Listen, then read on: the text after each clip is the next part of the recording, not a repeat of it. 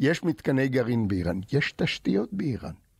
כשאתה רוצה לגרום לאיראן לא לחדש את מאמציה לפצצה, אתה צריך גם לגרום לזה שהיא תצטרך להקציב כסף לשיקום הסכרים באיראן, שדות הנפט באיראן. איראן היא מאוד פגיעה, ואם אתה רוצה שאיראן לא תחזור לסורה בתחום הגרעין, התקיפה חייבת להיות גם בנושאים האלה. כלומר, הפנטזיה הזו של מטוסי קרב ישראלים מרחפים מעל איראן... שמסיימים בתקיפה אחת את העניין? לא. פנטזיה. זה לא מציאותי, זה לקוח ממשחקי פורטנייט. במחשב אנחנו צריכים להבין שאם אנחנו מדברים על תקיפה באיראן, אנחנו מדברים על מלחמה עם איראן, מלחמה שלא תארך יום אחד, ושתדרוש מאיתנו וגם ממי שיעזור לנו הרבה. הכותרת, פודקאסט החדשות של ynet עם עטילה שומפלבי. ראש הממשלה, שר הביטחון, ראש המוסד והרמטכ"ל כבר פיזרו הבטחות ורמזים, ונראה כי הפוקר הישראלי בשיאו. אז מתי מתכוונת ישראל לפעול? כמה זמן ייקח להתכונן לאופציה הצבאית? וכיצד תיראה המלחמה נגד איראן? רום בן ישי, פרשננו לענייני ביטחון, עם כל התסריטים כפי שלא פורסמו קודם. רון, כששר הביטחון וראש הממשלה והרמטכ"ל וראש המוסד, ובעצם כמעט כל אחד, אומרים שישראל נערכת לתקיפה באיראן, למה הם מתכוונים?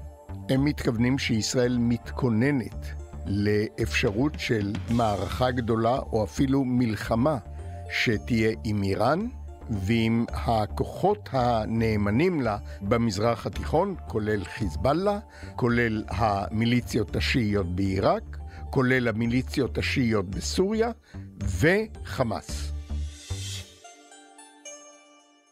והשאלה היא הטיימינג, הזמן. מתי ישראל צריכה לפעול, או יכולה לפעול?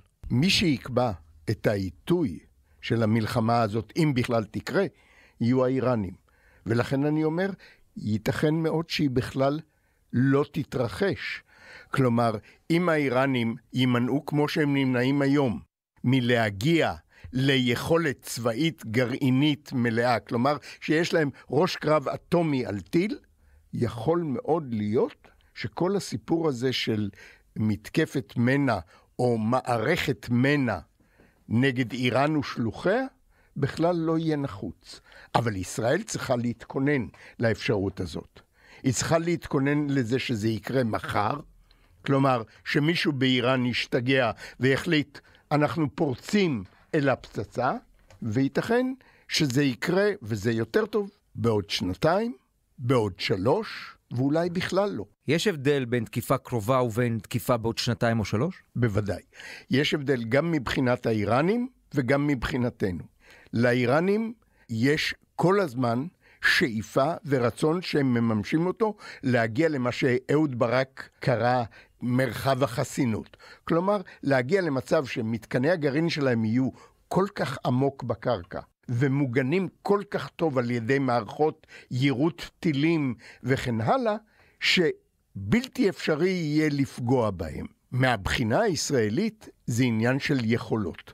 היכולות שיש לישראל היום הן הרבה יותר טובות מהיכולות שהיו לישראל ב-2010-2012, כשזה עמד בפרק בפעם הראשונה, ובעוד, נגיד, שלוש שנים, היכולות יהיו הרבה יותר טובות. בטור אקספוננציאלי, כמו שמדברים בהקשר של הקורונה, מאשר היום. זה פשוט מאוד. שמתי לב שלא תיקנת אותי כשאמרתי בפתיח שמדובר במלחמה מול איראן. ופה מדברים תמיד במושגים של הפצצה, כאילו, באים, תוקפים והולכים. תקיפה, כן. זה מאוד נכון. לא מדובר בתקיפה באיראן. ברור לגמרי שברגע שאנחנו נעשה משהו לעבר איראן, תיפתח פה מערכה שלמה. שבה יהיו שותפים, כמו שאמרתי, איראן, המיליציות הנאמנות בה, כולל המיליציות התימניות, לא הזכרתי קודם את המיליציות התימניות, חיזבאללה כמובן, כלומר, לא מדובר באיזה סדרה של תרחישים, אלא בעצם בתרחיש אחד שאנחנו צריכים להתכונן לו, וזה חשוב מאוד, ולכן גם דרוש זמן. למערכה מול איראן ושלוחיה. אותה מערכה שמתנהלת היום מתחת לרדאר, בעמימות, בעצימות נמוכה, תעבור למערכה רבתי, שתהיה לא רק קינטית, אלא גם בסייבר, גם באמצעים אחרים, מה שנקרא באנגלית All Out War. מערכה כזאת, אני למשל רואה שנצטרך לתקוף לא פעם אחת באיראן, אלא כמה פעמים.